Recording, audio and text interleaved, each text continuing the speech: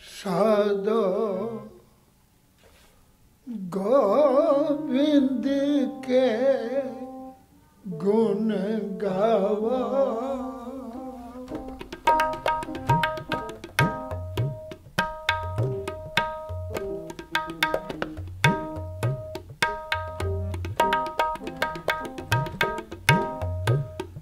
ਸਾਧੋ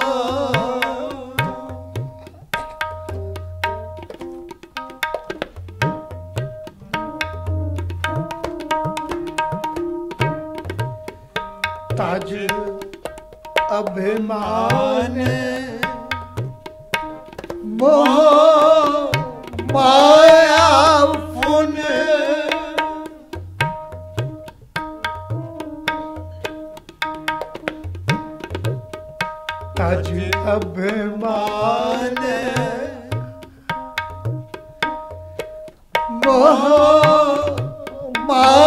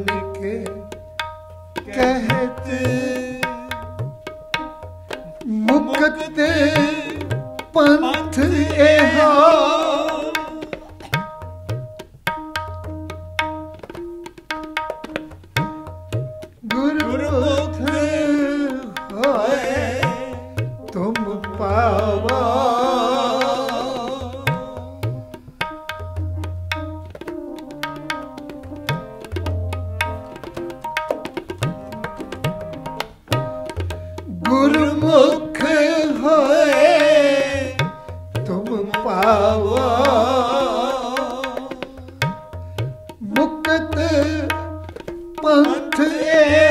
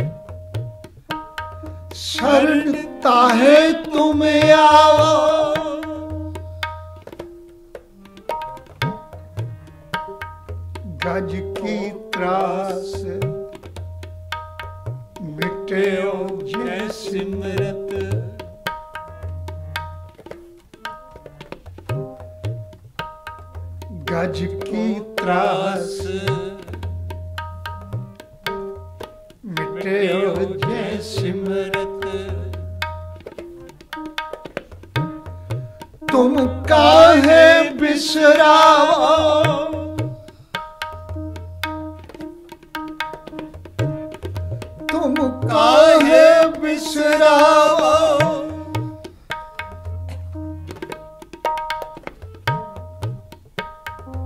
ਅਜ ਅਭਿਮਾਨ।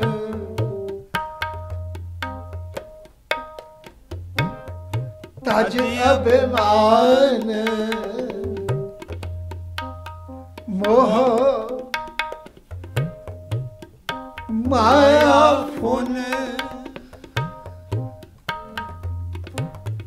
ਭਜਨ RAM ਚਿਤ ਲਾਓ ਨਾਨਕ ਕਹਿਤ।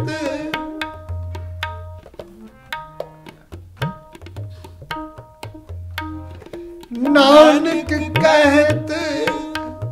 ਮੁਕਤ ਪੰਥ ਇਹੋ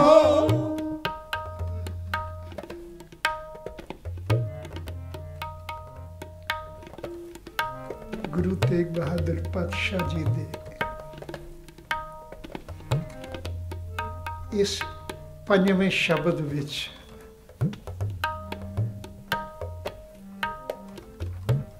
ਸਾਡੀ ਤੁਹਾਡੀ ਮਨੁੱਖਤਾ ਦੇ ਜੀਵਨ ਦੀ ਇੱਕ ਸਾਂਝੀ ਕਹਾਣੀ ਦਾ ਜ਼ਿਕਰ ਹੈ। ਐਗਜ਼ਾਮਪਲ ਬੇਸ਼ੱਕ ਬੜੀ ਪ੍ਰਚਲਿਤ ਪੁਰਾਤਨ ਹੈ।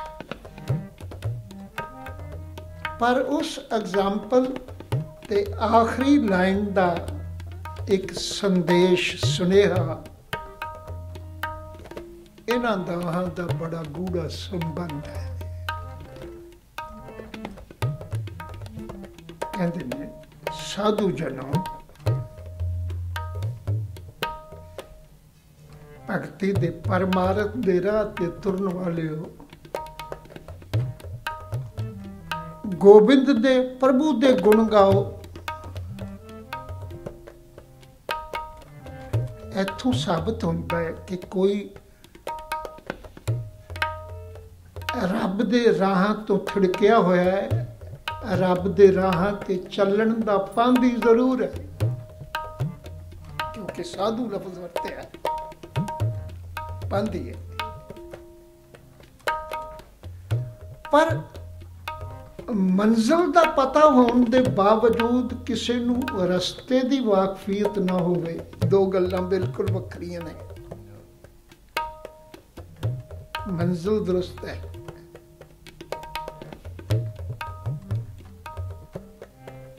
ਪਰ ਸਫਰ ਜਿਸ ਰਾਹ ਤੇ ਤੁਰ ਰਿਹਾ ਹੈ, ਉਹ ਰਾਹ ਦੀ ਪਛਾਣ ਨਹੀਂ। ਆ ਲਫ਼ਜ਼ ਇਹ ਤਰ੍ਹਾਂ ਵੀ ਕਿਉਂ ਇਹਦਾ ਮਤਲਬ ਰਾਹ ਵੱਖਰੇ ਵੱਖਰੇ ਹਨ ਤੇ ਜਿੱਥੇ ਬਹੁਤੇ ਰਾਹ ਹੋ ਜਾਣ ਉੱਥੇ ਮਨੁੱਖ ਦਾ ਭੁੱਲ ਜਾਣਾ ਸੁਭਾਵਕ ਹੈ ਤੇ ਭੁੱਲਣ ਵਾਲਾ ਜਿਹੜਾ ਤਾਂ ਹੀ ਭੁੱਲਣਹਾਰ ਆਖਿਆ ਜਾਂਦਾ ਹੈ ਕਿਉਂਕਿ ਉਹਦਾ ਨਿਸ਼ਾਨਾ ਮੰਜ਼ਿਲ ਕੋਈ ਹੋਰ ਹੁੰਦੀ ਹੈ ਤੁਰ ਹੋਰ ਪਾਸੇ ਪੈਂਦਾ ਤਾਂ ਹੀ ਭੁੱਲਣਹਾਰ ਆਖਿਆ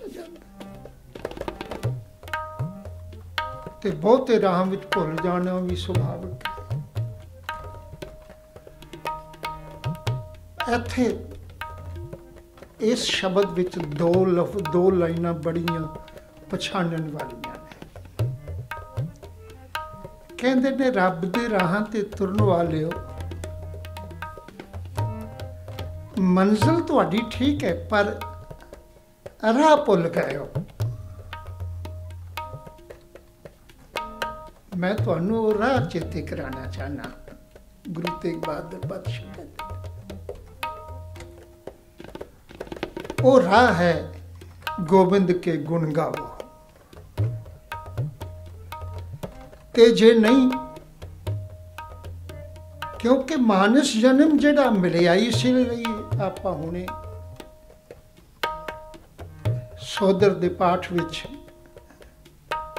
ਇੱਕ ਸ਼ਬਦ ਆਖਰੀ ਪੜਿਆ ਹੈ। ਜਿੰਦੇ ਵਿੱਚ ਇਹ ਲਫ਼ਜ਼ ਨੇ ਭਈ ਪਰਾਪਤ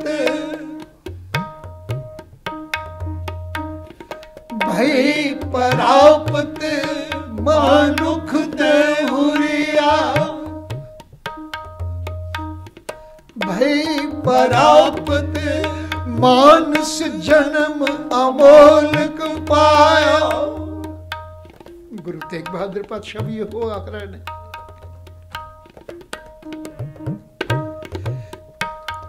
ਤੇ ਗੁਰੂ ਅਰਜਨ ਪਾਤਸ਼ਾਹ ਵੀ ਉਹ ਆਖ ਰਹੇ ਨੇ।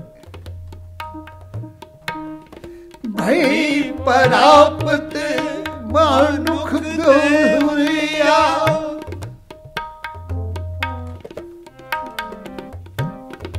ਗੋਬਿੰਦ ਮਿਲਨ ਕੀ ਇਹ ਤੇਰੀ ਬਰੀਆ। ਗੋਬਿੰਦ ਗੁਣ ਗਾਵੋ।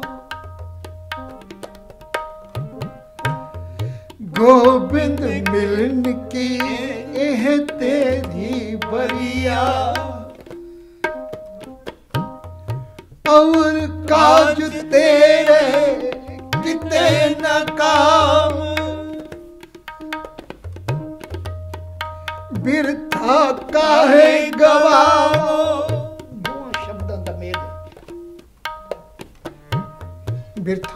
ਨੂੰ ਆਖਦੇ ਨੇ, ਜਿਸ ਦੇ ਕੋਈ ਅਰਥ ਨਾ ਹੋ ਜਿੰਦਾ ਕੋਈ ਮਕਸਦ ਨਾ ਹੋਵੇ। ਤੁਰਿਆ ਜਾਂਦਾ ਜਿਵੇਂ ਉਸ ਦਿਨ ਤੋਂ ਕਾਈ ਸੀ ਕਿ ਤੇਲੀ ਸਲਦਾ ਬਲਦ ਕਰ ਨਿਤ ਭਲਕੇ ਉਠ ਪੁਰਬ ਜੋਇਆ ਤੇਲੀ ਦਾ ਬਲਦ ਤੁਰਿਆ ਜਾਂਦਾ ਪਰ ਮੰਜ਼ਲ ਕੋਈ ਨਹੀਂ। ਸ਼ਾਮਾਂ ਨੂੰ ਜਿੱਥੋਂ ਚੱਲਿਆ ਸੀ, ਜਦੋਂ ਅੱਖਾਂ ਤੋਂ ਖੋਪੇ ਲਾਏ, ਉਥੇ ਦਾ ਉਥੇ ਖਲੋਤਾ ਹੈ। ਅਰਥ ਕੋਈ ਫਾਇਦਾ ਕੋਈ ਨਹੀਂ ਕੋਈ ਨਹੀਂ। ਕਹਿ ਲੱਗੇ, ਤੈਨੂੰ ਮਨੁੱਖਾ ਜਨਮ ਗੋਬਿੰਦ ਮਿਲਨ ਕੀ ਇਹ ਤੇਰੀ ਬਰੀਆ ਵਾਸਤੇ ਮਿਲਿਆ ਪਰ ਬਿਰਥਾ ਬਿਨਾ ਅਰਥ ਦੇ, ਬਿਨਾ ਮਕਸਦ ਦੇ ਗੁਆਰੀ। ਕਹਿਣ ਲੱਗੇ, ਤੂੰ ਤਾਂ ਗੋਬਿੰਦ ਨੂੰ ਨਹੀਂ ਪਛਾਣ ਰਿਹਾ। ਗੋਬਿੰਦ ਨੂੰ ਨਹੀਂ ਪਛਾਣ ਰਿਹਾ। ਤੇ ਪਛਾਣ ਹੁੰਦੀ ਕੀ ਹੈ? ਉਹ ਹੈ ਪਤਤ ਪੁਨੀਤ ਦੀਨ ਬੰਦ ਹਰ, ਸ਼ਰਨ ਤਾਹੇ ਤੁਮ ਆਵੋ। ਜਿਹੜਾ ਪਤਤਾਂ ਨੂੰ ਪਵਿੱਤਰ ਕਰਦਾ ਹੈ, ਜਿਹੜਾ ਮੁਸ਼ਕਲ ਵਿੱਚ ਫਸੇ ਹੋਏ ਕਿਸੇ ਗਰੀਬ ਦੁਖੀ ਦੀ ਬਾਹ ਫੜਦਾ ਹੈ ਉਹਦੀ ਸ਼ਰਨਾ ਹੁਣ ਇੱਕ ਐਗਜ਼ਾਮਪਲ ਦਿੰਦੇ ਨੇ। ਹੁਣ ਦੇਖਣਾ ਉਸ ਐਗਜ਼ਾਮਪਲ ਜਿਹੜੀ ਹੈ ਤੇ ਆਖਰੀ ਤੁਕ ਦਾ ਜਿਹੜਾ ਫੈਸਲਾ ਹੈ, ਉਹਨਾਂ ਦਾ ਕਿੰਨਾ ਰਿਸ਼ਤਾ ਹੈ। ਉਹ ਐਗਜ਼ਾਮਪਲ ਕੀ ਹੈ? ਬੜੀ ਪ੍ਰਾਤਨ ਪ੍ਰਚਲਿਤ ਕਹਾਣੀ। ਉਹਦੀ ਐਗਜ਼ਾਮਪਲ ਗੁਰੂ ਤੇਗ ਬਹਾਦਰ ਪਾਤਸ਼ਾਹ ਵਰਤ ਰਹੇ ਨੇ ਤੇ ਕਹਿੰਦੇ ਨੇ ਗੱਜ ਕੀ ਤਰਾਸ? ਤਰਾਸ ਕਹਿੰਦੇ ਨੇ ਖੌਫ, ਡਰ, ਪਰੇਸ਼ਾਨੀ। ਪ੍ਰਾਤਨ ਕਹਾਣੀ ਭਗਤਮਾਲ ਵਿੱਚ ਵੀ ਆਈ ਹੈ ਇਹ ਕਹਾਣੀ। ਕਿ ਹਾਥੀ ਤਲਾਬ ਤੇ ਪਾਣੀ ਪੀਣ ਗਿਆ। ਤੇ ਤੰਦੂਏ ਨੇ ਉਹਦੇ ਪੈਰਾਂ ਵਿੱਚ ਜਕੜ ਪਾ ਲਿਆ। ਤੇ ਉਸ ਨੂੰ ਉਸ ਤਲਾਬ ਵਿੱਚ ਖਿੱਚਣਾ ਸ਼ੁਰੂ ਕਰ ਦਿੱਤਾ। ਉਹਨੂੰ ਆਪਣਾ ਆਪ ਡੁੱਬਦਾ ਨਜ਼ਰ ਆਇਆ। ਬੜਾ ਤਰਾਸ ਵਿੱਚ, ਬੜਾ ਕੁਰਲਾਇਆ। ਕਹਾਣੀ ਹੈ ਪ੍ਰਾਤਨ ਜਿੰਦੀ ਐਗਜ਼ਾਮਪਲ ਗੁਰੂ ਤੇਗ ਬਹਾਦਰ ਪਾਤਸ਼ਾਹ ਨੇ ਵਰਤੀ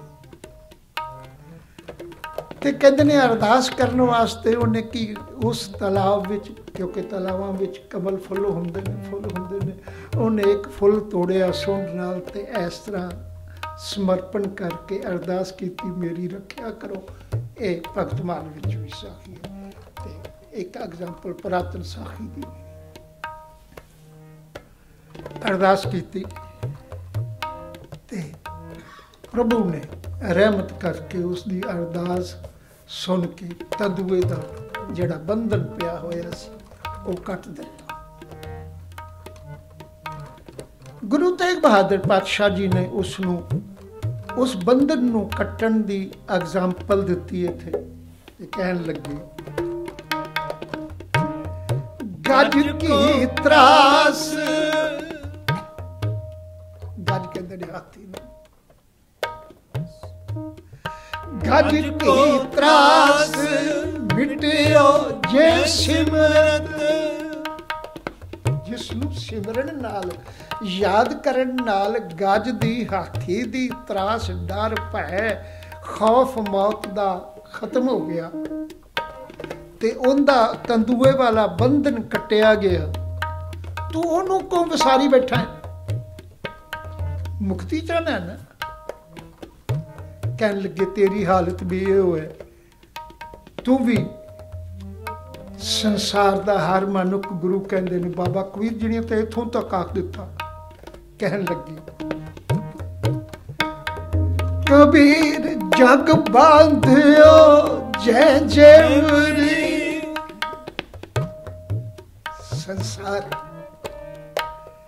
ਇੱਕ ਤੰਦੂਏ ਦੇ ਬੰਧਨ ਵਾਂਗੂ ਵੱਜਿਆ ਹੋਇਆ।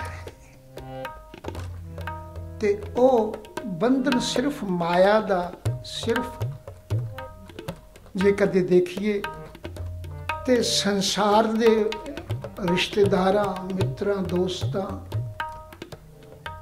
ਜਾਂ ਸੰਪਦਾ ਦਾ ਹੀ ਨਹੀਂ, ਬਲਕਿ ਧਰਮ ਦਾ ਵੀ ਬੰਧਨ ਹੈ। ਧਰਮ ਦਾ ਤੁਸੀਂ ਗੁਰਬਾਣੀ ਨੇ ਮੰਨ ਲਿਆ ਕਿ ਧਰਮ ਵੀ ਬੰਧਨ ਬਣ ਗਿਆ ਹੁਣ ਆਪਾਂ ਜਦੋਂ ਕਦੀ ਗਹਿਰਾਈ ਨਾਲ ਦੇਖਾਂਗੇ ਤੇ ਸਾਡੇ ਸਾਹਮਣੇ ਇਹ ਚੀਜ਼ ਆ ਜਾਏਗੀ। ਗੁਰੂ ਨੇ ਬਾਣੀ ਵਿੱਚ ਆਖਿਆ ਬੰਧਨ ਬੰਧਨ ਧਰਮ ਕਰਮ ਹਉ ਕੀਆ। ਗੁਰਬਾਣੀ ਹੈ। ਧਰਮ ਕਰਮ ਧਰਮ ਕਰਮ ਵੀ ਬੰਧਨ ਹੋ ਗਿਆ। ਆ, ਇੱਕ ਖਿਆਲ ਕਰਿਓ। ਬ੍ਰਾਹਮਣ ਨੇ ਜਿਹੜਾ ਸੰਸਾਰ ਨੂੰ ਗੁਲਾਮ ਕੀਤਾ ਹੈ, ਉਹ ਕੋਈ ਤਲਵਾਰ ਨਾਲ ਨਹੀਂ। ਤਲਵਾਰ ਨਾਲ ਨਹੀਂ। ਕੋਈ ਸਿਆਸਤ ਦੀ ਸਿੱਧੀ ਸ਼ਕਤੀ ਨਾਲ ਵੀ ਨਹੀਂ।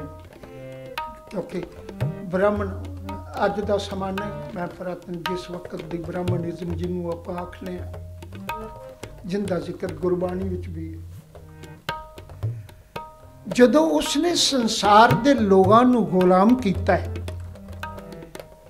ਕਿ ਦੁਨੀਆ ਦਾ ਹਰ ਮਨੁੱਖ ਉਹਦੀ ਮਰਜ਼ੀ ਬਿਨਾ ਖਾ ਨਹੀਂ ਸਕਦਾ, ਜੋ ਉਹਦੇ ਕੋਲੋਂ ਹੁਕਮ ਨਾ ਹੋਵੇ। ਉਹਦੀ ਮਰਜ਼ੀ ਬਿਨਾ ਪਹਿਨ ਨਹੀਂ ਸਕਦਾ, ਉਹਦੀ ਮਰਜ਼ੀ ਬਿਨਾ ਜੀਉ ਨਹੀਂ ਸਕਦਾ, ਉਹ ਇਵਨ ਇੱਥੋਂ ਤੱਕ ਉਹਦੀ ਮਰਜ਼ੀ ਬਿਨਾ ਮਰਨ ਤੋਂ ਬਾਅਦ ਵੀ ਉਹਦੀ ਮਰਜ਼ੀ ਦੇ ਜਿਹੜੇ ਸੰਸਕਾਰ ਨੇ ਉਹ ਨਾ ਹੋਣ ਤਾਂ ਇਹ ਮਸਲਾ ਆ ਗਿਆ ਕਿ ਇਹ ਮੁਕਤ ਨਹੀਂ ਹੋਇਆ। ਕਿਉਂਕਿ ਮੁਕਤੀ ਲਫ਼ਜ਼ ਇੱਕ ਐਸਾ ਸੀ ਜਿਹੜਾ ਦੁਨੀਆ ਦਾ ਹਰ ਮਨੁੱਖ ਚਾਹੁੰਦਾ ਸੀ। ਹਰ ਮਨੁੱਖ ਚਾਹੁੰਦਾ ਤੇ ਚਾਹੁੰਦਾ ਕਿਉਂ ਹੈ? ਕਿਉਂਕਿ ਗੁਰਬਾਣੀ ਨੇ ਇੱਕ ਗੱਲ ਸਪਸ਼ਟ ਕਰ ਦਿੱਤੀ, ਕਹਿਣ ਲੱਗੀ। ਜਗ ਬਾਂਧਿਓ ਜੈ ਜੇਵਰੀ। ਜੇਵਰੀ ਕਹਿੰਦੇ ਨੇ ਰੱਸੀ ਨੂੰ। ਸੰਸਾਰ ਕਿਸੇ ਜੇਵਰੀ ਨਾਲ ਬੱਝਿਆ ਹੋਇਆ ਸੀ। ਤੇ ਅਜੀਬ ਗੱਲ ਹੈ, ਬ੍ਰਾਹਮਣ ਬੜਾ ਸਿਆਣਾ ਸੀ। ਉਹਨੇ ਆਖਿਆ ਵੀ ਮੈਂ ਸੰਸਾਰ ਦੇ ਇਸ ਰੋਗ ਦੀ ਨਬਜ਼ ਨੂੰ ਪਛਾਣਾ ਕਿ ਦੁਨੀਆ ਦਾ ਮਨੁੱਖ ਜਿਹੜਾ ਹੈ, ਉਹ ਇਸ ਜੇਵਰੀ ਤੋਂ ਮੁਕਤੀ ਚਾਹੁੰਦਾ ਹੈ। ਧਰਮ ਦਾ ਆਰੰਭ ਤਾਂ ਇੱਥੋਂ ਹੀ ਹੋਇਆ। ਮਨੁੱਖ ਦੀ ਲੋੜ ਸੀ। ਜੇਵਰੀ ਤੋਂ ਮੁਕਤੀ ਚਾਹੁੰਦਾ ਤੇ ਉਹਨੇ ਆਖਿਆ ਵੀ ਮੈਂ ਇੱਥੇ ਤਾਂ ਮੁਕਤੀ ਦੇ ਨਹੀਂ ਸਕਦਾ। ਕਿਉਂਕਿ ਮੈਨੂੰ ਮੁਕਤੀ ਦਿਖਾਣੀ ਪਏਗੀ ਕੀ ਹੈ? ਗੁਰੂ ਨੇ ਬਾਣੀ ਵਿੱਚ ਵੀ ਕਹਿ ਦਿੱਤਾ। ਸੋਧੋਂ ਮੁਕਤ ਕਹਾਂ ਦਿਓ, ਕੈਸੀ? ਮੈਂ ਸਵਾਲ ਕਰਾਂਗਾ। ਸੋਧੋਂ ਮੁਕਤ ਕਹਾਂ ਦਿਓ, ਕੈਸੀ? ਕਰ ਪ੍ਰਸਾਦ ਮੋ ਪਈ ਹੈ। ਕਹਿ ਲੱਗੇ ਜਿਹੜਾ ਤੂੰ ਰਹਿਮਤ ਕਰਕੇ ਮੈਨੂੰ ਮੁਕਤੀ ਦੇਵੇਂਗਾ ਉਕਤੀ ਉਹ ਮੁਕਤੀ ਮੈਨੂੰ ਦਿਖਾ ਕਿਉਂ ਜੀ ਹੋਵੇਗੀ, ਕਿੱਥੇ ਹੋਵੇਗੀ? ਅੱਜ ਸਾਡੇ ਸਾਹਮਣੇ ਵੀ ਸਾਨੂੰ ਕੋਈ ਭਾਵੇਂ ਆਪੋ ਹੁਲ ਆਖੇ ਵੀ ਤੁਸੀਂ ਮੁਕਤ ਹੋ ਜਾਓ ਤੁਹਾਨੂੰ ਮੁਕਤੀ ਮਿਲੇਗੀ। ਐਸੇ ਸਾਡੇ ਕੋਲ ਵੀ ਸਾਧੂ ਮਹਾਤਮਾ ਡੇਰਿਆਂ ਵਾਲੇ ਬੈਠੇ ਨੇ, ਜਿਹੜੇ ਕਹਿੰਦੇ ਨੇ ਫਲਾਣਾ ਮੁਕਤ ਹੋ ਗਿਆ। ਪਰ ਜੇ ਉਹਨਾਂ ਦੇ ਸਾਹਮਣੇ ਸਵਾਲ ਹੋਵੇ ਵੀ ਮੁਕਤ ਜਿਹੜਾ ਹੋਇਆ ਹੈ, ਉਹ ਸਾਨੂੰ ਦਿਖਾ ਕਿੱਥੇ ਗਿਆ ਤਾਂ ਦਿਖਾ ਨਹੀਂ ਸਕਣਗੇ। ਬ੍ਰਾਹਮਣ ਬੜਾ ਸਿਆਣਾ ਸੀ। ਉਹਨੇ ਆਖਿਆ ਵੀ ਰੋਜ਼-ਰੋਜ਼ ਮੇਰੇ ਤੇ ਸਵਾਲ ਹੋਣਗੇ। ਮੁਕਤ ਕਿੱਥੇ ਮਿਲੇਗੀ? ਕਿਵੇਂ ਮਿਲੇਗੀ? ਕਿਹੋ ਜੀ ਹੋਵੇਗੀ? ਤੇ ਮੇਰੇ ਲਈ ਮੁਸ਼ਕਲ ਬਣ ਜਾਵੇਗੀ, ਮੈਂ ਕੀ ਤਸੱਲੀ ਦੁਆਵਾਂਗਾ ਉਹਨੇ ਇਸੇ ਲਈ ਮੁਕਤੀ ਦਾ ਹਿੱਸਾ ਜਿਹੜਾ ਹੈ, ਉਹ ਮਰਨ ਤੋਂ ਬਾਅਦ ਦਾ ਕਰ ਦਿੱਤਾ। ਕਿਉਂਕਿ ਮਰਨ ਤੋਂ ਬਾਅਦ ਤਾਂ ਕਿੱਥੇ ਗਿਆ? ਕਿਵੇਂ ਸਤਿਗੁਰੂ ਨੇ ਵੀ ਬਾਣੀ ਵਿੱਚ ਕਹਿ ਦਿੱਤਾ, ਅਗਲੀ ਕੁਝ ਖਬਰ ਨਾ ਪਾਈ।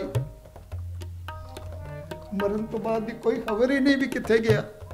ਅਸੀਂ ਵੀ ਅਰਦਾਸਾਂ ਕਰੀ ਜਾਂਦੇ ਮਰਨ ਤੋਂ ਬਾਅਦ ਕਿੱਥੇ ਗਿਆ? ਅਸੀਂ ਆਖਦੇ ਨੇ ਉਸ ਸਵਰਗਵਾਸੀ ਪਤਾ ਨਹੀਂ ਸਵਰਗ ਵਿੱਚ ਗਿਆ ਜਾਂ ਕਿ ਨਰਕ ਵਿੱਚ ਗਿਆ। ਪਰ ਨਤੀਜਾ ਇਹ ਨਿਕਲਿਆ ਉਹਦੀ ਉਸ ਗੱਲ ਦਾ ਕਿਆਫਾ ਲਗਾਉਣ ਲਈ ਕੋਈ ਆਦਮੀ ਤਿਆਰ ਨਾ ਹੋਇਆ। ਕੋਈ ਮਨ ਉਹਦੇ ਸਾਹਮਣੇ ਸਿਰ ਝੁਕਾ ਦਿੱਤਾ। ਤੁਸੀਂ ਹੈਰਾਨ ਹੋ ਸ੍ਰੀ ਗੁਰੂ ਗ੍ਰੰਥ ਸਾਹਿਬ ਦੀ ਬਾਣੀ ਅੰਦਰ ਇੱਕ ਲਫ਼ਜ਼ ਆਇਆ। ਸਤਿਗੁਰੂ ਨੇ ਆਖਿਆ ਮੁਕੋ ਤੂੰ ਨਾ ਵਿਸਾਰ। ਤੂੰ ਨਾ ਵਿਸਾਰ।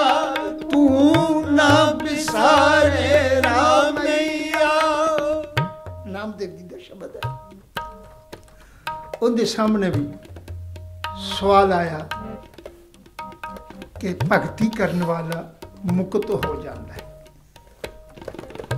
ਉਹਨੇ ਆਖਿਆ, ਮੈਂ ਤਾਂ ਐਡਾ ਗੁਲਾਮੀ ਵਿੱਚ ਜੀਵਨ ਬਿਤਾ ਰਿਹਾ ਕਿ ਮੰਦਰ ਵਿੱਚ ਜਾ ਕੇ ਭਗਤੀ ਨਹੀਂ ਕਰ ਸਕਦਾ। ਉਥੋਂ ਮੈਨੂੰ ਧੱਕੇ ਮਾਰ ਕੇ ਬਾਹਰ ਕੱਢ ਦਿੱਤਾ ਜਾਂਦਾ ਸੂਦ ਸੂਦ ਕਰ ਮਾਰ ਉਠਾਇਓ। ਕਹਾ ਕਰੋ ਬਾਬੂ ਇਠਲਾ ਮੇਰੇ ਕੋਲ ਤੇ ਇੰਨੀ ਵੀ ਆਜ਼ਾਦੀ ਨਹੀਂ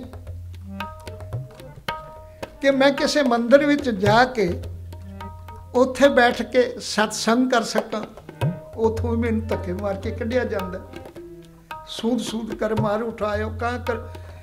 ਇਸ ਲਈ ਮੈਂ ਤਾਂ ਇਹ ਪੁੱਛਣਾ ਚਾਹਨਾ ਕਿ ਮੁਕਤੀ ਹੈ ਕਿ? ਮੈਂ ਤਾਂ ਗੁਲਾਮ ਹਾਂ। ਭਗਤੀ ਵੀ ਆਪਣੀ ਮਰਜ਼ੀ ਨਾਲ ਨਹੀਂ ਕਰ ਸਕਦਾ। ਇਸ ਲਈ ਹੈ ਮੇਰੇ ਮਾਲਕ ਮੈਂ ਤੇਰੇ ਕੋਲੋਂ ਮੰਗਣਾ ਕਿ ਇਹ ਮੈਂ ਇਸ ਗੁਲਾਮੀ ਦੇ ਜੀਵਨ ਨਾਲੋਂ ਤੇਰਾ ਮੇਰਾ ਸਬੰਧ ਜੁੜਿਆ ਰਹੇ ਮੋਕੋ ਤੂੰ ਨਾ ਵਿਸਾਰ ਤੂੰ ਨਾ ਵਿਸਾਰ ਤੂੰ ਨਾ ਵਿਸਾਰੇ ਰਾਮਈਆ ਆਲਾਵੰਤੀ ਇਹ ਪਰਮ ਜੋ ਹੈ ਮੁਝ ਉੱਪਰ ਸਭ ਕੋਪਲਾ ਸਾਰੇ ਮੇਰੇ ਤੇ ਨਾਰਾਜ਼ਗੀ ਗੁੱਸਾ ਕਰਦੇ ਨੇ ਸੂਦ ਸੂਦ ਕਰ ਮਾਰ ਉਠਾਇਓ ਕਹਾਂ ਕਰੋ ਬੈਠਲਾ ਅੱਗੇ ਪਾਸੇ ਕਹਿੰਦੇ ਨੇ, ਮੂਏ ਹੋਏ ਜੋ ਮੁਕਤ ਦਿਓਗੇ। ਮੈਂ ਜਿਵੇਂ ਸੁਣਿਆ ਕਿ ਮਰਨ ਤੋਂ ਬਾਅਦ ਮੁਕਤੀ ਮਿਲ ਜਾਂਦੀ ਹੈ, ਤੁਸੀਂ ਮੁਕਤੀ ਦੇ ਦਿੰਦੇ ਹੋ। ਉਹ ਮੁਕਤੀ ਕਿੰਨੇ ਜਾਣਨੀ ਮੂਏ ਹੋਏ ਜੋ ਮੁਕਤ ਦਿਓਗੇ। ਮੁਕਤ ਨਾ ਜਾਣੇ ਕੋਇਲਾ ਕਿਸੇ ਨੇ ਨਹੀਂ ਜਾਣਨਾ ਕਿ ਨਾਮਦੇਵ ਮੁਕਤ ਹੋ ਗਿਆ। ਕਿਸੇ ਨੂੰ ਪਤਾ ਨਹੀਂ ਲੱਗਣਾ ਕਿ ਨਾਮਦੇਵ ਨੂੰ ਮੁਕਤੀ ਮਿਲ ਗਈ। ਹੁਣ ਇੱਥੇ ਵੀ ਇਹੋ ਗੁਰੂ ਤੇਗ ਬਹਾਦਰ ਪਾਤਸ਼ਾਹ ਜੀ ਨੇ ਕਹਿ ਦਿੱਤਾ, ਕਹਿਣ ਲੱਗੇ, ਨਾਨਕ ਕਹਿਤ ਮੁਕਤ ਪੰਥ ਇਹੋ। ਸਾਰਾ ਸੰਸਾਰ ਮੁਕਤ ਨਹੀਂ। ਧਰਮ ਵਿੱਚ ਵੀ ਬੰਨਿਆ ਹੋਇਆ ਈਵਨ ਧਰਮ ਵੀ ਬੰਨ ਦਿੱਤਾ ਗਿਆ ਅਖੰਡ ਪਾਠ ਕਰਾਉਣਾ 48 ਘੰਟੇ ਤੋਂ ਜ਼ਿਆਦਾ ਨਹੀਂ ਹੋਣਾ ਚਾਹੀਦਾ। ਜੇ ਕੋਈ 50 ਘੰਟੇ ਲਾ ਦੇਵੇ, ਮੇਰਾ ਆਸਤਾ ਆਰਾਮ ਨਾਲ ਸਮਝ ਕੇ ਪੜ੍ਹੇ ਪੜ੍ਹੇ। ਤਾਂ ਅਖੰਡ ਪਾਠ ਖੰਡਨ ਹੋ 48 ਘੰਟੇ ਚ ਹੋਣਾ ਚਾਹੀਦਾ ਬੰਧਨ ਹੋ ਧਰਮ ਵੀ ਬੰਧਨ ਬਣ ਗਿਆ। ਤੇ ਗੁਰੂ ਕਹਿੰਦੇ ਨੇ, ਨਹੀਂ ਪੜ ਪੜ ਗੱਡੀ ਲੱਦੀ ਹੈ ਪੜ ਪੜ ਭਰੀਏ ਸਾਥ। ਪੜ ਪੜ ਬੇੜੀ ਪਾਈਏ ਪੜ ਪੜ ਗੱਡੀਏ ਖਾਤ ਪੜੀਏ ਜੇਤੇ ਵਰਸ ਵਰਸ ਪੜੀਏ ਜੇਤੇ ਬਾਸ ਪੜੀਏ ਜੇਤੀ ਅਰਜਾ ਪੜੀਏ ਜੇਤੇ ਨਾਨਕ ਲਿਖੇ, ਇੱਕ ਗੱਲ। ਬਾਕੀ ਬੇਅਰਥ, ਉਹ ਬਿਰਥਾ ਬਿਰਥਾ ਤੇ ਬੇਅਰਥ ਦਾ ਅਰਥ ਇੱਕੋ ਹੈ, ਜਿੰਦਾ ਕੋਈ ਅਰਥ ਨਾ ਜਿੰਦਾ ਕੋਈ ਫਾਇਦਾ ਨਾ ਹੋਵੇ।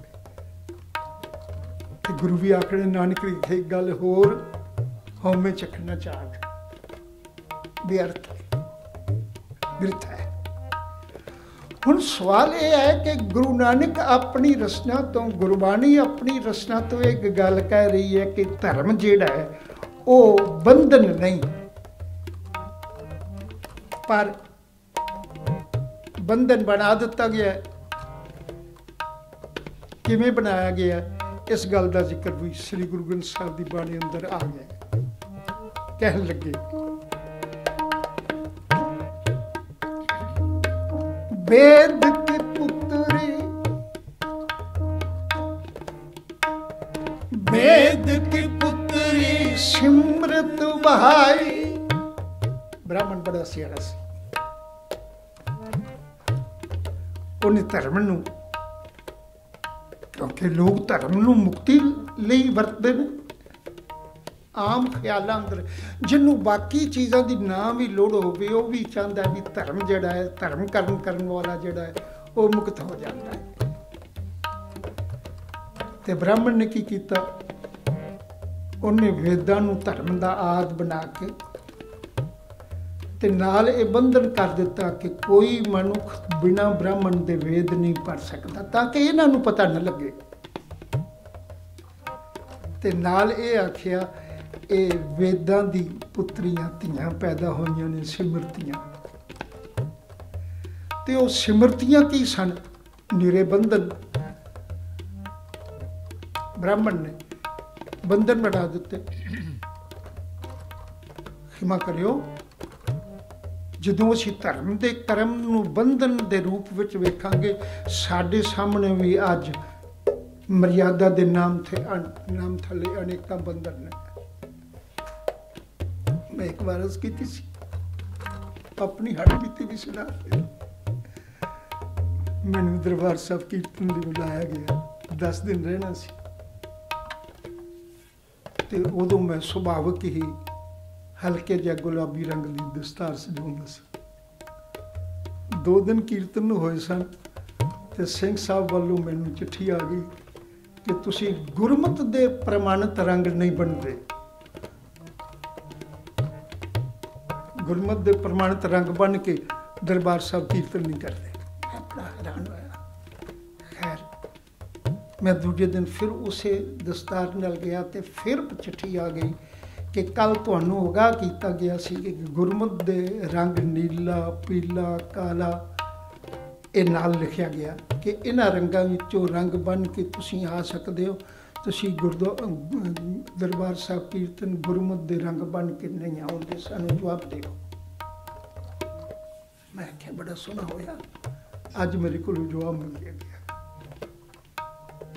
ਮੇਰੀ ਹੱਡ ਬੀਤੀ ਉਦੋਂ ਯਾਨੀ ਕਿਰਪਾਲ ਸਿੰਘ ਜੀ ਦਰਬਾਰ ਸਾਹਿਬ ਹੈਡ ਗ੍ਰੰਥੀ ਹੁੰਦੇ ਸਨ। ਉਸ ਤੋਂ ਬਾਅਦ ਅਕਾਲ ਤਖਤ ਤੇ ਆਏ ਨੇ। ਮੇਰੇ ਇਹ 84 ਤੋਂ ਪਹਿਲਾਂ ਦੀ ਗੱਲ ਦੂਜੇ ਦਿਨ ਮੈਂ ਚਿੱਠੀ ਲਿਖੀ ਵਾਪਸੀ। ਜੋ ਆਪ ਜੋ ਦੇਣਾ ਸੀ। ਮੈਂ ਕਿਹਾ, ਸਿੰਘ ਸਾਹਿਬ, ਮੈਂ ਤੁਹਾਡਾ ਸਤਿਕਾਰ ਕਰਨਾ ਸੀ ਦਰਬਾਰ ਸਾਹਿਬ ਦੇ ਹੈਡ ਗ੍ਰੰਥੀ ਪਰ ਜਿਹੜਾ ਤੁਸੀਂ ਸਵਾਲ ਕੀਤਾ ਹੈ ਨਾ, ਇਹ ਗੁਰਮਤ ਦੇ ਰੰਗ ਕਾਲਾ, ਨੀਲਾ, ਪੀਲਾ ਬਣ ਕੇ ਨਹੀਂ ਆਉਂਦੇ। ਮੈਂ ਵੀ ਜਿੰਨਾ ਕੁ ਮੈਨੂੰ ਸਤਿਗੁਰੂ ਨੇ ਬਖਸ਼ਿਸ਼ ਕੀਤੀ ਹੈ, ਸ੍ਰੀ ਗੁਰੂ ਗ੍ਰੰਥ ਸਾਹਿਬ ਸਾਡੀ ਗੁਰਮਤਿ ਹੈ। ਅਸਲ ਵਿੱਚ ਕਾਰਨ ਕੀ ਹੈ, ਅਸੀਂ ਸ੍ਰੀ ਗੁਰੂ ਗ੍ਰੰਥ ਸਾਹਿਬ ਨਾਲ ਲੋਕ ਟੁੱਟ ਕੇ ਮਨ ਮਤ ਵਿੱਚ ਪੈ ਗਏ। ਮੈਂ ਕਿਹਾ, ਸ੍ਰੀ ਗੁਰੂ ਗ੍ਰੰਥ ਸਾਹਿਬ ਸਾਡੀ ਗੁਰਮਤਿ ਹੈ। ਜਿੰਨਾ ਕੁ ਮੈਨੂੰ ਸਮਾਂ ਮਿਲਿਆ ਮੈਂ ਸ੍ਰੀ ਗੁਰੂ ਗ੍ਰੰਥ ਸਾਹਿਬ ਵਾਚਿਆ ਮੈਨੂੰ ਕਿਤੇ ਇਹ ਨਹੀਂ ਲਿਖਿਆ ਮਿਲਿਆ ਕਿ ਐਸ ਰੰਗ ਦੇ ਕੱਪੜੇ ਪਾਇਆ ਹੀ ਗੁਰੂ ਖੁਸ਼ ਹੁੰਦਾ ਹੈ। ਉਹ ਤਾਂ ਇੱਕੋ ਗੱਲ ਕਹਿੰਦਾ ਜਿਤ ਪੈ ਦੇ ਤਨ ਪੀੜੀ ਹੈ ਮਨ ਵਿੱਚ ਚਲੇ ਬੇਕਾਰ ਉਥੇ ਰੰਗ ਦਾ ਕੋਈ ਮਸਲਾ ਨਹੀਂ। ਪਰ ਚਲੋ, ਜੇ ਰੰਗ ਸ੍ਰੀ ਗੁਰੂ ਗ੍ਰੰਥ ਸਾਹਿਬ ਵਿੱਚੋਂ ਮੰਨੀਏ ਵੀ, ਤੇ ਮੈਂ ਕਿਹਾ ਮੈਂ ਕੱਲ ਸਾਰਾ ਕੀਰਤਨ ਸ੍ਰੀ ਗੁਰੂ ਗ੍ਰੰਥ ਸਾਹਿਬ ਦੇ ਵਿੱਚੋਂ, ਬਾਣੀ ਵਿੱਚੋਂ ਲਾਲ ਰੰਗ ਤੇ ਕਰਾਂਗਾ। ਸਤਿਗੁਰੂ ਨੇ ਲਾਲ ਰੰਗ ਨੂੰ ਕਿੰਨਾ ਸਲਾਇਆ ਹੈ ਗੁਰਬਾਣੀ ਵਿੱਚ।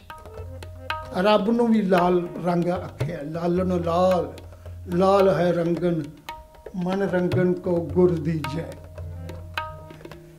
ਲਾਲ ਰੰਗ ਤਿਸ ਕੋ ਲੱਗਾ ਜਿਸ ਕੇ ਵਡਭਾਗਾ ਮੈਲਾ ਕਦੇ ਨ ਹੋਵੇ। ਗੁਰਬਾਣੀ ਅੰਦਰ ਲਾਲ ਰੰਗ ਦੀ ਬੜੀ ਸਰਾਹਨਾ ਹੈ। ਮੈਂ ਕੱਲ ਸਾਰਾ ਕੀਰਤਨ ਲਾਲ ਰੰਗ ਤੇ ਕਰਾਂਗਾ।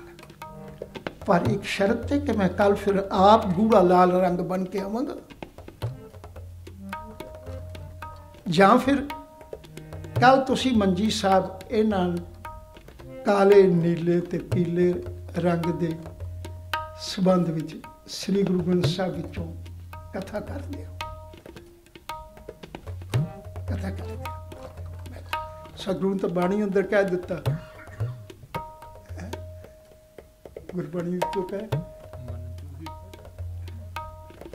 ਮਲਜੂਈ ਭਰਿਆ, ਨੀਲਾ ਕਾਲਾ ਖਿਦੋਲੜਾ, ਮਨਮੁਖ ਮਨਮੁਖੇ ਨੂੰ ਪਾਇਆ। ਪਾਸ ਨੇ ਦੇਈ ਕੋਈ ਬਹਿਣ। ਉੱਥੇ ਨੀਲੇ ਕਾਲੇ ਦਾ ਲਫ਼ਜ਼ ਆ ਗਿਆ ਤੇ ਪੀਲੇ ਪਹਿਨ ਵਾਲੇ ਨੂੰ, ਪਹਿਨਣ ਵਾਲੇ ਨੂੰ ਪਿਤੰਬਰ ਗੁਰੂ ਨੇ ਬਾਣੀ ਵਿੱਚ ਆਖਿਆ। ਮੈਂ ਕਿਹਾ, ਮੈਨੂੰ ਤੁਸੀਂ ਦੱਸੋ, ਜੇ ਕਿਹੜੇ ਗੁਰਮੁਖ ਦਾ ਕਿਹੜੀ ਗੱਲ ਤਾਂ ਮੇਰੇ ਕਹਿਣ ਦਾ ਮਤਲਬ ਉਹਦਾ ਨਤੀਜਾ ਨਿਕਲਿਆ ਕਿ ਮੁੜ ਕੇ ਮੈਨੂੰ ਨਹੀਂ ਆਖਿਆ ਗਿਆ। ਪਰ ਨਾਰਾਜ਼ਗੀ ਇੰਨੀ ਮਹਿਸੂਸ ਕੀਤੀ, ਤਿੰਨ ਸਾਲ ਸਾਡੀ ਆਪਸ ਵਿੱਚ ਫਤਿਹ ਵੀ ਨਹੀਂ ਤਾਂ ਮੇਰੇ ਕਹਿਣ ਦਾ ਮਤਲਬ ਇਹ ਹੈ ਕਿ ਅਸੀਂ ਧਰਮ ਨੂੰ ਵੀ ਇੱਕ ਐਸਾ ਬੰਧਨ ਬਣਾ ਲਿਆ ਜਿਸ ਚੀਜ਼ ਦਾ ਕੋਈ ਸੰਬੰਧ ਨਹੀਂ। ਪੰਜ ਲਫ਼ਜ਼ ਨੂੰ ਧਰਮ ਵਿੱਚ ਪਾ ਲਿਆ। ਪੰਜ ਲਫ਼ਜ਼ ਨੂੰ ਬੜਾ ਪਵਿੱਤਰ ਰੱਖ ਦਿੱਤਾ। ਮਾੜਾ ਨਹੀਂ, ਪਰ ਪੰਜ ਅੱਖਰ ਜਾਂ ਪੰਜ ਹਿੰਸੇ ਬੜੀ ਚੰਗੀ ਗੱਲ ਹੈ ਵਰਤੋ, ਪਰ ਉਹਨੂੰ ਧਰਮ ਸਮਝ ਕੇ ਨਹੀਂ। ਜਿਵੇਂ ਮੈਂ ਅਰਜ਼ ਕੀਤੀ ਸੀ, ਕਿਰਪਾਨ ਸਾਡੀ ਜ਼ਿੰਦਗੀ ਦੀ ਜ਼ਰੂਰਤ ਹੈ। ਸ਼ਸਤਰ ਸਾਡੀ ਰੱਖਿਆ ਲਈ, ਕਿਸੇ ਦੀ ਵੀ ਰੱਖਿਆ ਲਈ, ਦੀਨ ਦੀ, ਗਰੀਬ ਦੀ, ਮੁਫਲਿਸ ਰੱਖਿਆ ਲਈ ਸਾਡਾ ਕੋਲ ਹੋਣਾ ਚਾਹੀਦਾ ਅਸੀਂ ਸ਼ਸਤਰ ਧਾਰੀ ਹੋਈਏ। ਪਰ ਕਿਰਪਾਨ ਸਾਡੇ, ਸਾਡਾ ਧਰਮ ਨਹੀਂ। ਧਰਮ ਹੋਰ ਚੀਜ਼ ਹੁੰਦਾ ਹੈ। ਤੇ ਇੱਥੇ ਇਹੋ ਹੀ ਲਫ਼ਜ਼ ਨੇ ਗੁਰਬਾਣੀ ਅੰਦਰ। ਗੁਰੂ ਤੇਗ ਬਹਾਦਰ ਪਾਤਸ਼ਾਹ ਜੀ ਨੇ ਬੜੀ ਸੁੰਦਰ ਗੱਲ, ਸਾਰੀ ਗੱਲ ਆਕਾ ਕੇ ਕਹਿਣ ਲੱਗੇ, ਜਿੰਦੇ ਜਿਵੇਂ ਜਿਸ ਢੰਗ ਨਾਲ ਗੱਜ ਦੀ ਤਰਾਸ ਉਹਦਾ ਬੰਧਨ ਖਤਮ ਹੋਇਆ ਹੈ, ਤੂੰ ਵੀ ਮੁਕਤੀ ਚਾਹਨਾ, ਤੈਨੂੰ ਮੁਕਤੀ ਮਿਲ ਸਕਦੀ ਹੈ, ਪਰ ਕਿਸੇ ਵਸਤੂ ਨਾਲ ਨਹੀਂ। ਜੇ ਵਸਤੂ ਦਾ ਵੇਖੀਏ, ਤਾਂ ਗੁਰੂ ਨੇ ਬਾਣੀ ਵਿੱਚ ਕਹਿ ਦਿੱਤਾ, ਵੇਦ ਕੀ ਪੁੱਤਰੀ, ਸਿਮਰਤ ਭਾਈ ਸੰਕਲ ਜੇਵਰੀ ਲੈ ਹੈ ਆਈ। ਉਹ ਤਾਂ ਸੰਗਲ ਜੇਵਰੀਆਂ ਲੈ ਕੇ ਆਏ ਜੀ। ਭਾਵ ਇਹ ਜੇ ਨਿਯਮ ਬਣਾ ਦਿੱਤੇ। ਚਾਰ ਚਫੇਰੇ। ਮੈਂ ਤਾਂ ਬਲਕਿ ਅਰਜ਼ ਕਰਦਾ ਜੀ, ਖਿਆਲ ਕਰਿਓ, ਜੇ ਕਦੀ ਇੰਨੀ ਕੱਟੜਵਾਦਤਾ ਜੇ ਇੰਨੇ ਸਖਤ ਨਿਯਮ ਨਾ ਹੁੰਦੇ, ਸਿੱਖੀ ਖੌਰ ਕਿੱਥੋਂ ਤੱਕ ਜਾਂਦੇ? ਸਿੱਖੀ ਕਦੀ ਗੁਰਬਾਣੀ ਤੇ ਆਧਾਰਿਤ ਹੁੰਦੀ? ਸਿੱਖੀ ਬੜੀ ਫੈਲਦੀ। ਅਸੀਂ ਗੁਰਬਾਣੀ ਦੀ ਬਜਾਏ ਆਪਣੀਆਂ ਬਣਾਈਆਂ ਹੋਈਆਂ ਮਰਜ਼ਾਦਾ ਤੇ ਕਾਇਮ ਕਰ ਲਈਆਂ। ਪਿਛਲੇ ਦਿਨਾਂ ਵਿੱਚ ਇੱਕ ਗੱਲ ਤੇ ਮੇਰੇ ਆਪਸ ਵਿੱਚ ਵੀ ਵਿਚਾਰ ਵੀ ਹੋਈ ਜਿਵੇਂ ਉੱਥੇ ਆਪਣੇ ਅਨੰਦਪੁਰ ਸਾਹਿਬ ਪ੍ਰਿੰਸੀਪਲ ਹੁੰਦੇ ਸਨ, ਸੁਰਿੰਦਰ ਸਿੰਘ ਉਹਨਾਂ ਨੇ ਇੱਕ ਲਫ਼ਜ਼ ਵਰਤ ਦਿੱਤੇ ਕਿ ਗ੍ਰੰਥ ਤੇ ਪੰਥ ਬਰਾਬਰ ਨੇ। ਗ੍ਰੰਥ ਦੀ ਬਾਣੀ ਤੇ ਪੰਥ ਦੀ ਰਹਿਤ ਮਰਿਆਦਾ ਸਾਡੇ ਵਾਸਤੇ ਇੱਕੋ ਜਿਹੀ ਹੈ। ਬਰਾਬਰ ਦੀ ਅੱਜ ਇਹ ਸਤਿਗੁਰੂ ਦੀ ਕਿਰਪਾ ਹੈ। ਅੱਜ ਜਾਗਰਤੀ ਆ ਰਹੀ ਹੈ। ਅੱਗੇ ਨਾਲੋਂ ਕੌਮ ਬਹੁਤ ਜਾਗ ਪਈ ਹੈ ਕਿ ਸ੍ਰੀ ਗੁਰੂ ਗ੍ਰੰਥ ਸਾਹਿਬ ਦੀ ਬਾਣੀ ਕੀ ਚੀਜ਼ ਹੈ? ਤੇ ਸਾਡੀਆਂ ਆਪਣੀਆਂ ਰਚਨਾਵਾਂ ਮਨੁੱਖ ਦੀ ਕਿਰਤ ਕੀ ਹੈ? ਬਲਕਿ ਗੁਰੂ ਨਾਨਕ ਨੂੰ ਇਹ ਗੱਲ ਕਹਿ ਕੇ ਫੈਸਲਾ ਦੇਣਾ ਪਿਆ ਗੁਰਬਾਣੀ ਅੰਦਰ, ਜਿੱਥੇ ਆਖ ਦਿੱਤਾ। ਹਮਰਾ ਝਗੜਾ ਰਹਾ ਨ ਕੋ।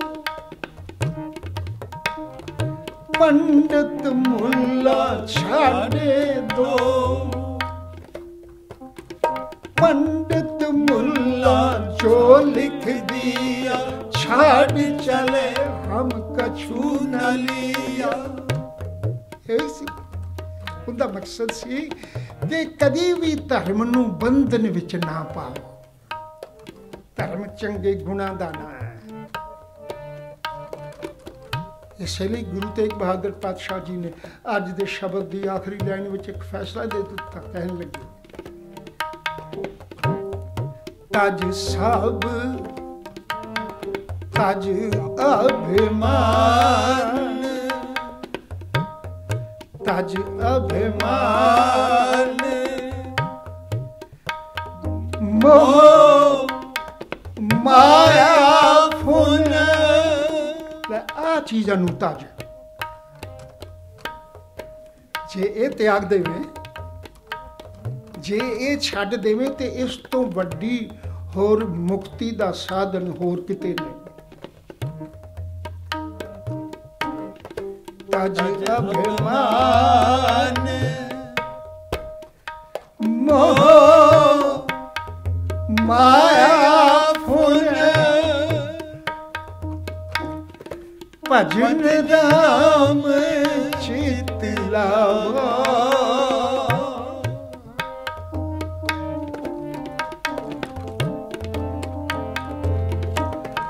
ਭਜਨ ਰਾਮ ਚਿਤ ਨਾਨਕ ਕਹਿਤ, ਮੁਕਤ ਪੰਥ ਇਹੋ। ਗੁਰੂ ਤੇਗ ਬਹਾਦਰ ਪਾਤਸ਼ਾਹ ਜੀ ਦਾ ਕਹਿਣ ਲੱਗੇ, ਮੁਕਤੀ ਦਾ ਰਾਹ ਇਹ ਹੈ।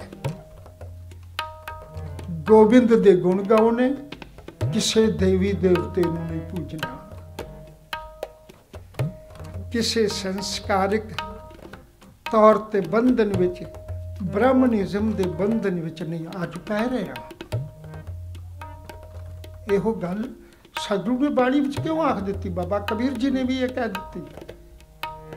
ਕਿ ਕਬੀਰ, ਜਗ ਬਾਧਿਓ ਜੇ ਜੇ ਵਰੀ ਤੇ ਮਤ ਬੰਦੋ ਕਬੀਰ। ਸੰਸਾਰ ਜਿੰਨਾ ਬੰਧਨਾਂ ਵਿੱਚ ਪਿਆ ਹੋਇਆ, ਮੁਕਤੀ ਭਾਲ ਰਿਹਾ ਉਹ ਭਰਿਆ ਇਹੋ ਜੇ ਬੰਧਨ ਵਿੱਚ ਨਾ ਪਈ।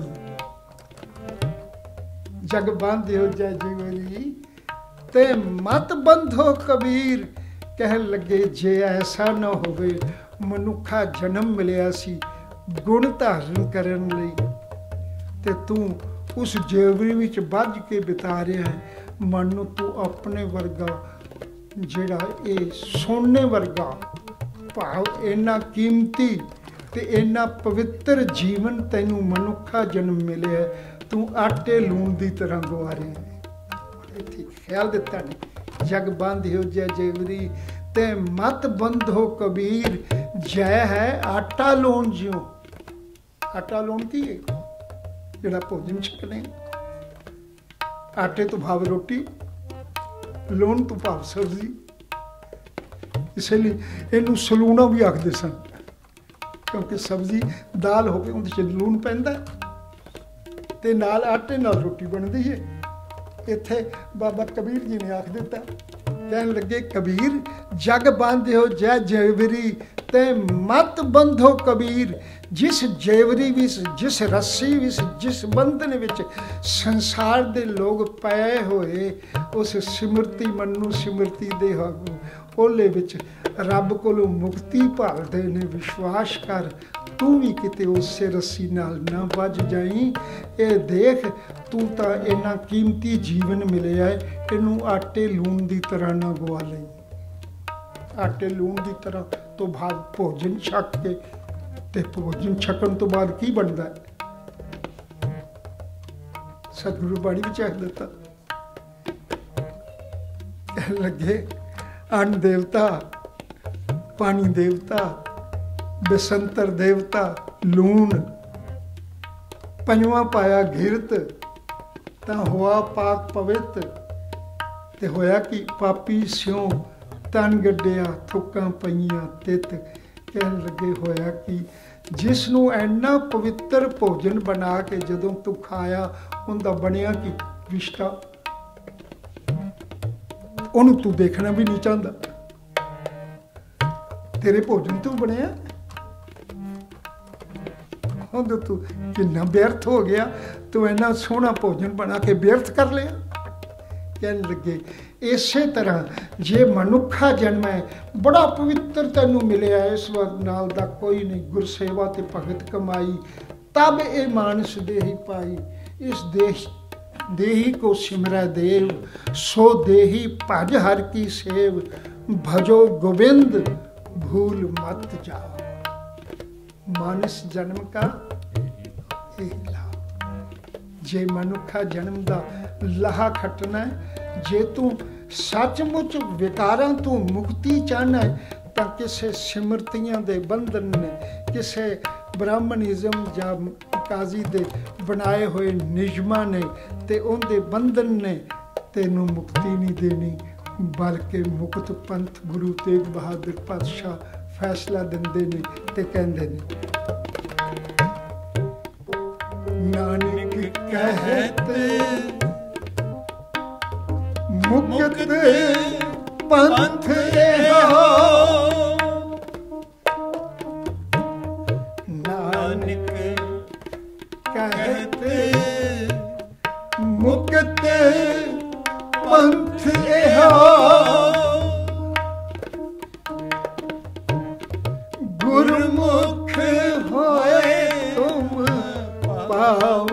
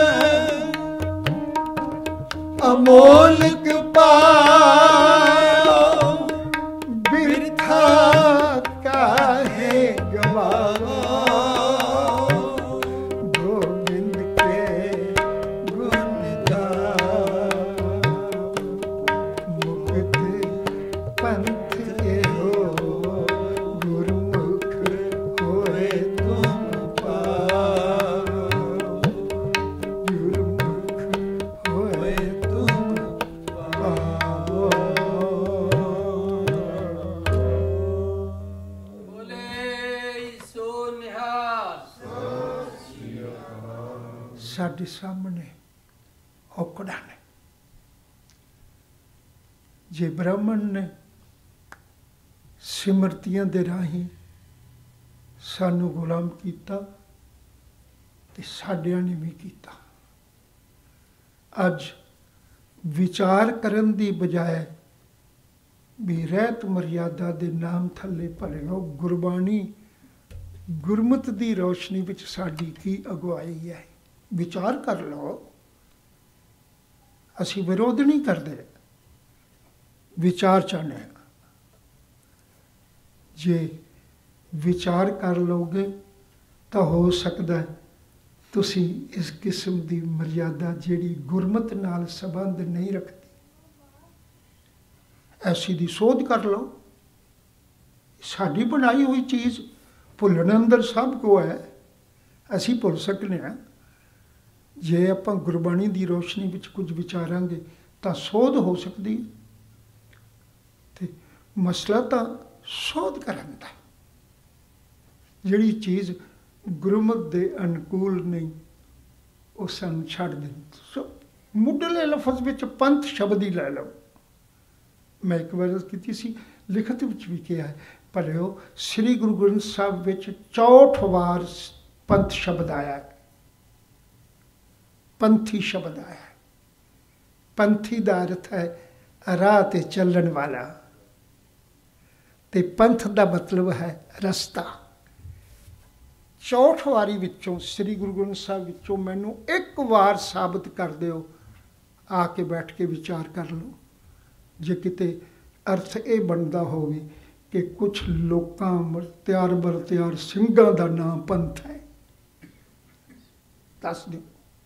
ਇਹ ਤਾਂ ਸਾਡੇ ਸਾਹਮਣੇ ਚੀਜ਼ ਹੈ ਸ੍ਰੀ ਗੁਰੂ ਗ੍ਰੰਥ ਸਾਹਿਬ ਦਾ ਪ੍ਰਕਾਸ਼ ਅਸੀਂ ਇੱਥੇ ਵੀ ਕਰਨੇ ਆ, ਹਰਮੰਦਰ ਸਾਹਿਬ ਵੀ ਹੁੰਦਾ, ਦਰਬਾਰ ਸਾਹਿਬ ਵੀ ਹੁੰਦਾ। ਅਸੀਂ ਸਾਰੇ ਸ੍ਰੀ, ਇਹ ਕਹਿੰਦੇ ਵੀ ਹਾਂ ਕਿ ਸਾਡਾ ਗੁਰੂ ਸ੍ਰੀ ਗੁਰੂ ਗ੍ਰੰਥ ਸਾਹਿਬ ਹੈ, ਤੇ ਫਿਰ ਗੁਰੂ ਕੋਲੋਂ ਪੁੱਛ ਕੇ ਵਿਚਾਰ ਕਰ ਲਓ। ਗੁਰੂ ਪੁੱਛ, ਕਰੇ ਵਿਚਾਰ। ਗੁਰੂ ਕੋਲ, ਜੇ ਸ੍ਰੀ ਗੁਰੂ ਗ੍ਰੰਥ ਸਾਹਿਬ 64 ਵਾਰ ਪੰਥ ਸ਼ਬਦ ਵਰਤੇ, ਔਰ ਉਹਦਾ ਅਰਥ ਇਹੋ ਹੀ ਹੋਵੇ ਕਿ ਰਸਤਾ ਤੇ ਰਸਤੇ ਤੇ ਚੱਲਣ ਵਾਲਾ ਪੰਧੀ। ਹਾਂਜੀ।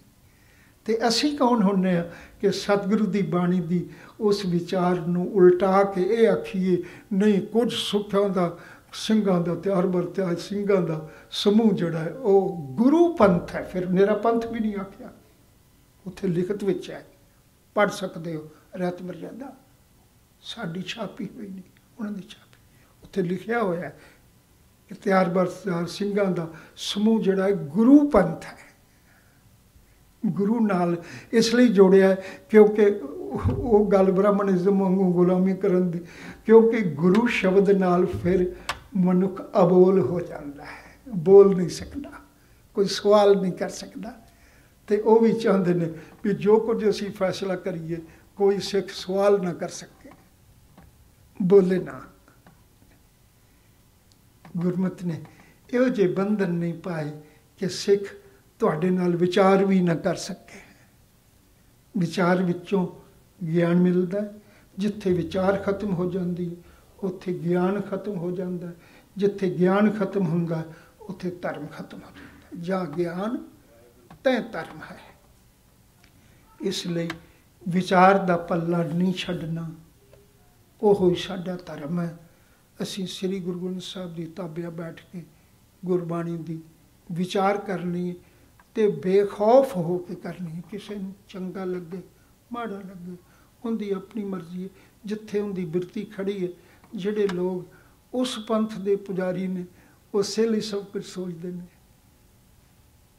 ਅੱਜ ਹੀ ਮੇਰੇ ਸਾਹਮਣੇ ਇੱਕ ਪੋਸਟ ਆ ਗਈ, ਜਿੰਦ ਵਿੱਚ ਕੋਈ ਸਿੰਘ ਕਿਸੇ ਨੇ ਲਿਖਿਆ ਹੈ। ਕਾਫੀ ਸਾਰੇ ਵੀ ਕੀ ਕਾਰਨ ਹੈ? ਅੱਜ ਅਕਾਲ ਤਖਤ ਦੇ ਜਥੇਦਾਰ ਦੀ ਮਹਾਨਤਾ ਲੋਕਾਂ 'ਚ ਕਿਉਂ ਘਟਦੀ ਜਾ ਰਹੀ ਹੈ? ਅੱਜ ਕਿਸੇ ਨੇ ਅੱਜ ਦੀ ਪੋਸਟ ਤੇ ਮੈਂ ਥੱਲੇ ਇੱਕ ਗੱਲ ਲਿਖੀ ਸੀ, ਮੈਂ ਕਿਹਾ ਬਹੁਤ ਚੰਗੀ ਸੋਚ ਹੈ ਜਿਨਨੇ ਇਹ ਸੋਚਿਆ ਕਿਉਂ ਘਟਦੀ ਸਵਾਲ ਤਾਂ ਪੈਦਾ ਹੋਇਆ ਪਰ ਨਾਲ ਇਹ ਵੀ ਸੋਚਣ ਵਾਲੀ ਗੱਲ ਹੈ, ਕਿਉਂ ਘਟਦੀ ਜਾ ਰਹੀ ਹੈ? ਕਿਉਂਕਿ ਜਦੋਂ ਤੱਕ ਜਥੇਦਾਰ ਨੂੰ ਸ੍ਰੀ ਗੁਰੂ ਗ੍ਰੰਥ ਸਾਹਿਬ ਦੇ ਅਦਬ ਦੀ ਪਹਿਲ ਨਹੀਂ ਹੋਵੇਗੀ ਇਹੋ ਹਾਲਤ ਹੋਈ। ਅੱਜ ਜਥੇਦਾਰ ਨੂੰ ਇਹ ਫਿਕਰ ਤਾਂ ਹੈ ਕਿ ਅਕਾਲੀ ਦਲ ਕਮਜ਼ੋਰ ਹੋ ਰਿਹਾ ਹੈ।